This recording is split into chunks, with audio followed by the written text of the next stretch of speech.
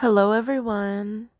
I've got to get better about my uploads. I'm going to try to get back to um, daily, but this is a food review that I've been meaning to do for quite some time, but I am just now getting around to it, so here we go. I'm going to be reviewing, as you can see in the title, a vegan pizza called the Alpha Pizza and it's a frozen pizza that you can um warm up at home as like a snack. They're pretty small. Um or well, I mean, yeah, like the pizza with like a salad that could be a meal. Um but yeah, I'm just going to get right into it. So at my store, and this was another um, item I found on Ibotta, and I wanted to try it because there was a pretty decent sized um, cashback offer, and I do believe it's still on Ibotta actually. And the cashback um, amount was a dollar fifty. The pizza was about four ninety nine, let's say. Um, so the whole um, story on this pizza is it is vegan. Um, so no dairy products, no meat products. That means you're gonna have vegan cheese on it, and um, the so the one I had was chicken flavored, which is odd. So the chicken wasn't real chicken. That's what I was getting at. Um, it's a meat substitute chicken. Um, I actually don't even like chicken pizza or I don't hate it. I can tolerate it, but maybe like one slice. It's it's not my I don't know, chicken flavor does not uh, lend itself to the ingredients in pizza, although chicken pasta doesn't bother me and it's the same kind of ingredients, bread, cheese, red sauce. But I yeah, I don't get it. Um that's one of my things though. Anyway, um, the two choices at my store, at least, I believe they make a, a supreme flavor, but they didn't have that at my store. Um, so I had to choose between just a plain cheese pizza and buffalo chicken flavor. So I chose the buffalo chicken just in case the cheese was gross. I um have never had a vegan pizza before, so this was a first, and I thought, well, at least, you know, I've had a ton of different types of meat substitute chicken, and um, the food industry has gotten pretty good at, at mimicking chicken flavor.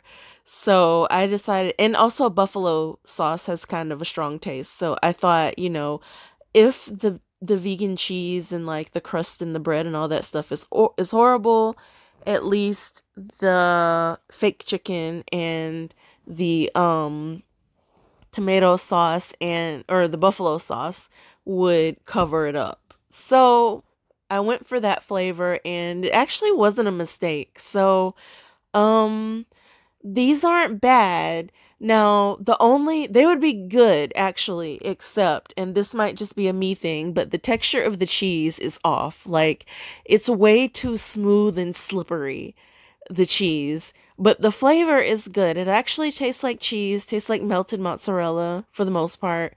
Um, the imitation chicken, uh, there's got to be a better way to say that, but um, the plant based chicken actually um, wasn't bad either. The buffalo seasoning is there. Um, it was just the texture of the cheese that kept throwing me off to the extent that I had to not think about it while I was eating it. But I could still eat the pizza and had no problem, and it was good. I probably would not um, get another one just because I'm a texture person with food.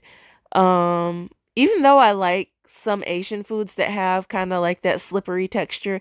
I don't like um like fat. I don't like fatty meats for that reason. And this cheese just like really messed with my head. Um but it was good enough that I could eat it without being grossed out entirely or at all really. It was just felt weird in my mouth.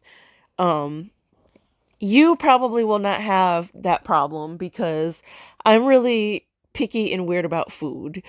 Um, but it is definitely worth noting. all in all, I would recommend trying the buffalo chicken. I almost tried, went back and tried the cheese, but then I thought about like the texture and I just didn't. Um, but maybe I will one day. Um, but yeah, so this is a good option if you're looking to try like a vegan pizza, something you can make at home. Um, and it, it's not terrible. Well, yeah, it's not terribly pricey compared to other organic types of um frozen meals and things you can get in the store. The vegan pizzas can actually be really pricey. So I was going to say this one is kind of reasonably priced and a good way to try vegan pizza, vegan cheese on a pizza. Um, so that pretty much does it for this review.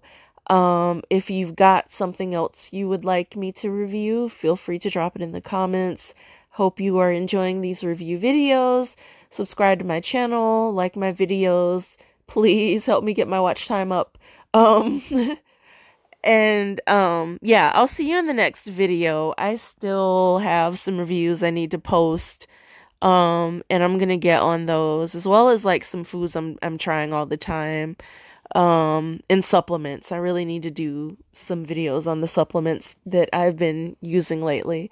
I will do all of that. Um, but until the next video, take care, be well, and I will see you again soon. Bye now.